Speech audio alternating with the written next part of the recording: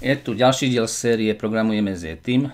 Začínam novú podsériu, kde sa budem venovať virtuálnemu domu, ktorý vytvára React.js a použijem na to program, aplikáciu Vakata, ktorú vytvoril Jacques Lenormand.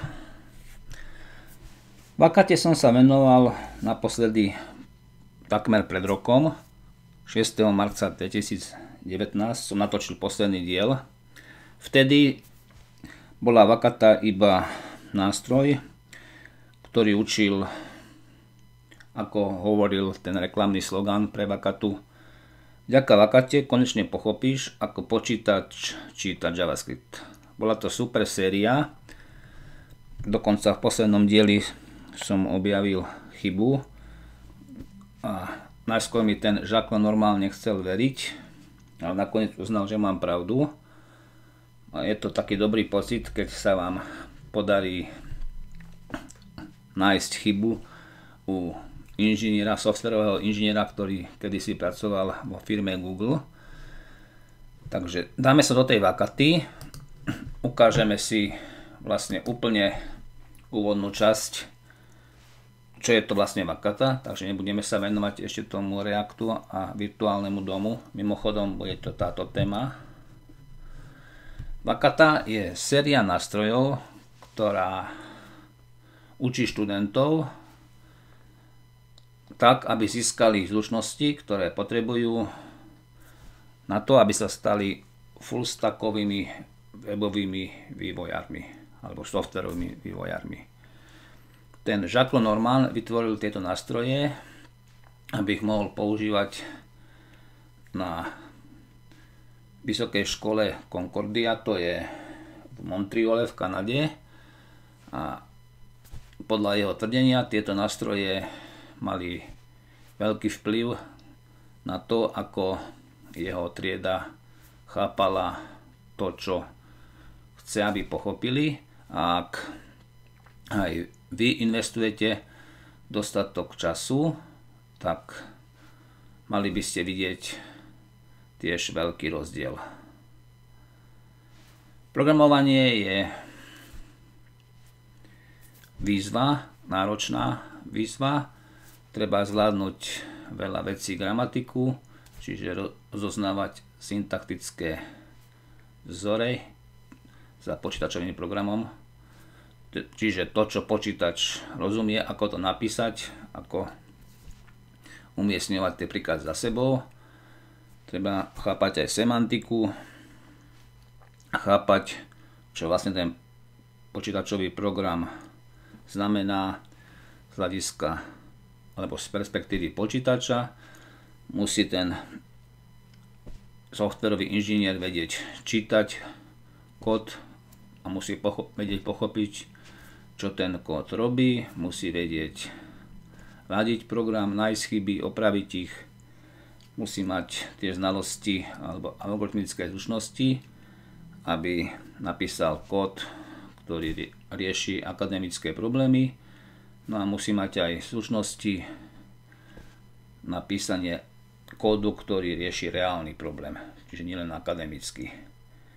Vakata učí tieto veci individuálne, individuálne tempo a je to prirodzené poradie, pretože zvládnutie jednej čnosti je predpokladom pre zvládnutie ďalšej. Nemôžete písať kód predtým, ako chápete alebo ako pochopíte, ako tento kód je interpretovaný počítačom. Skôr ako začneš písať alebo čítať, musíš byť schopný identifikovať gramatické vzory v kóde. To je analogia s tým, ako sa ľudia učia jazyky. Skôr ako začnú písať, potrebujú vedieť čítať a skôr ako začnú čítať, musia chápať nejakú gramatiku. No a jeho odporúčania, ako používať tú vakatu, je možné používať viacej nástrojov súčasne.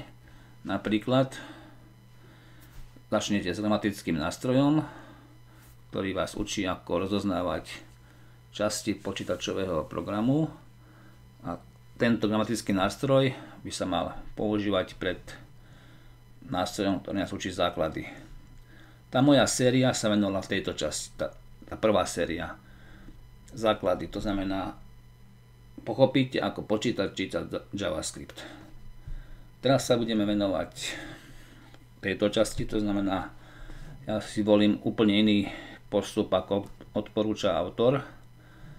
No a to je kvôli tomu, že som natrafil na tento inzerát. Tu vidíte odmenu, keď sa naučíte React. S tou firmou nemám nič spoločné, ani tá firma nemá spoločné nič s Vakatou. To len taká inšpirácia pre vás. Takže pokračujeme ďalej. Tak aké je jeho odporúčania? Keď dosiahnete určitú úroveň v nejakej tej časti, potom môžete prejsť na inú časť. No a hovorí, že keď si od nejakého nástroja na určitú dobu odpočiniete a keď sa tam vrátite, tak určite nejaké veci zabudne, zabudnete medzi tým a to úsilie spomenúť si na to, čo ste už kedy si vedeli, to vám pomáha v tom, aby ste si nakoniec tie veci zapamätali lepšie. No a hovorí, že aj spánok je dôležitou časťou toho učiaceho sa procesu. Tým by som ukončil, to, ukončil ten úvod. Na budúce teda začneme s vlastnou témou. Budeme sa venovať virtuálnemu domu, ktorý vytvára React.